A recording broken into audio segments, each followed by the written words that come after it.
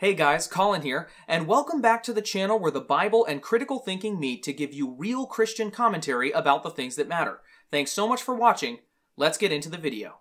So, female Bible teacher Beth Moore recently made waves by leaving the Southern Baptist Convention, which was actually a win win. You see, Beth Moore doesn't have to be in the SBC because she thinks it has many problems, and the SBC doesn't have to have Beth Moore in it, which in turn removes one of its biggest problems. Sounds good to me. In any case, Beth Moore often breaks the Lord's commandment in 1 Timothy 2:12 which says, quote, "I do not permit a woman to teach or to exercise authority over a man." End quote. This passage clearly says that women should not formally teach men in church under any circumstances ever. This has been the position of the historic Christian church all the way from its inception up until about five seconds ago. But just in case you needed yet another reason to avoid the false teaching and the disobedience of Beth Moore, here's a notable conversation I found on Twitter. A pastor named Brian Sauvé tweeted the following message, quote, Dear ladies, there is no reason whatsoever for you to post pictures of yourself in low-cut shirts, bikinis, bra and underwear, or anything similar, ever. Not to show your weight loss journey, not to show your newborn baby, not to document your birth story. Your brothers. End quote. This is a very reasonable request, and no doubt completely consistent with the Christian ethic with regards to modesty and avoiding the creation of stumbling blocks for your brothers and sisters in Christ. 1 Timothy 2 9 through 10 says, quote, Women should adorn themselves in respectable apparel, with modesty and self control, not with braided hair and gold, or pearls or costly attire, but with what is proper for women who profess godliness, with good works. End quote. Now, before you quote the context and say that this passage simply doesn't apply to what I'm talking about, about, I will have you know that I'm well aware that the passage is directly referring to elaborate hairstyles and jewelry and expensive clothing and things of that nature. But let's use some common sense here. If showing off your hair can be considered immodest, then it is also immodest to show off your cleavage. If it is immodest to show off your costly attire and jewelry, then it is surely immodest to show off your sculpted physique, or lack thereof. It's about the heart of the matter. And it's very legalistic. I would even go so far as to say it's just plain stupid to say that it can be immodest for a woman to show off an elaborate hairstyle, as the passage says, yet it's perfectly modest at all times for a woman to wear a shirt that looks like it was made for a toddler. More than this, Romans 4:13 says, quote, "Decide never to put a stumbling block or hindrance in the way of a brother." End quote. By the way, I agree that the exact guidelines for modesty are, to some extent, subjective. I believe that Christians, in good faith, can apply these principles as they see fit, and sometimes they will apply these things differently. But just because there's no Bible verse that tells us specifically how high a dress can be, or specifically how low cut a shirt can be, that doesn't mean there aren't some dresses out there that are just too high, and some shirts that are just too low. It's called using common sense. And unfortunately, in many modern churches, this has been thrown out the window. In short, our brother Brian Sauvé's tweet was perfectly reasonable and very biblical, and for that, he should be commended by his fellow Christians. But there's more to the story here before we bring in Beth Moore, and we are going to bring her in.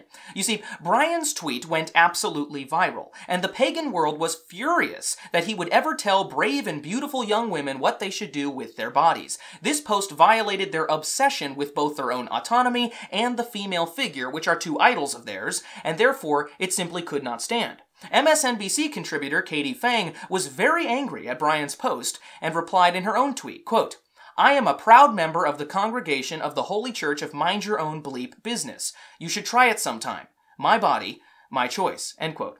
Very ladylike. There were hundreds of angry comments like that, and it included dozens of comments attacking Brian's marriage and even attacking his wife. This was sickening behavior, but it got even worse. There were hundreds of comments wherein women were posting half-naked pictures of themselves under Brian's post and taunting him sexually. Brian then tweeted a follow-up post in which he said that hundreds of people had been sending him unsolicited, sexually explicit messages on his Twitter account. And let's recognize that this is of course a behavior that the secular world would have been been livid about if the tables were turned. The Me Too movement would have had a field day if it had been done by Brian in the reverse. But in any case, let's summarize. Our Christian brother, and by all accounts a good Christian pastor, made a reasonable post about modesty. The secular world has decided to attack him, attack his marriage, taunt him, and sexually harass him. As Christians, our response should be to stand alongside our brother and fight with him. We should be agreeing with him and supporting Brian in this moment. As Galatians 6 2 says, quote, Bear one another's burdens and so fulfill the law of Christ. The proper biblical response here is to unapologetically defend not just Brian's biblical position, and we should do that, but also to support the man himself as he's being lambasted and reviled by the secular culture. So for my part, I just want to say, good job, Brian. I'm very proud of you. And knowing all of this, in comes Beth Moore. And Beth Moore is largely seen as this kind, charitable, sweet woman who's just trying to spread the truth of God's word with a little spunkiness. People see her and they say, How could big nasty John MacArthur ever do that to Beth Moore? He's so mean. This is just too far. Check out Beth Moore's response to Brian Sauvé's post about modesty and you'll see the whole picture. She said, quote, Dude, there is no world in which we ever want to see the word bra from you again. Mind your own unders, end quote. So first, let's just recognize something very important. How on earth is Beth Moore going to imply that Brian's post was cringy because he used the word bra when she literally just said the phrase, mind your own unders? I mean, seriously, just imagining Beth Moore saying those words is enough to make a hardened criminal throw up uncontrollably. But I digress.